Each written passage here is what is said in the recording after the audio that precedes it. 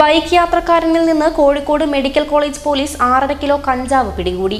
വടകര കോട്ടപ്പള്ളി പാറമൽ അസ്കർ അലിയെയാണ് പിടികൂടിയത്. ബൈക്ക് കസ്റ്റഡിയിലെടുത്തു.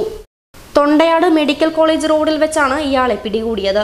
D C പിയുടെ സ്പെഷ്യൽ സ്ക്വാഡും medical college S I T V Dhananjaya Das additional S I Murali A S I Rajendran Manoj Kumar probational S I Vipin C P ഒമാരായ Arun A K Rajeesh എന്നിവരടങ്ങിയ സംഘമാണ് പിടികൂടിയത്. വെളിച്ചെണ്ണ service സഹകരണ bank സംരംഭം. ആയുർ ദർശൻ ആയുർവേദ ചികിത്സാലയം true to the tradition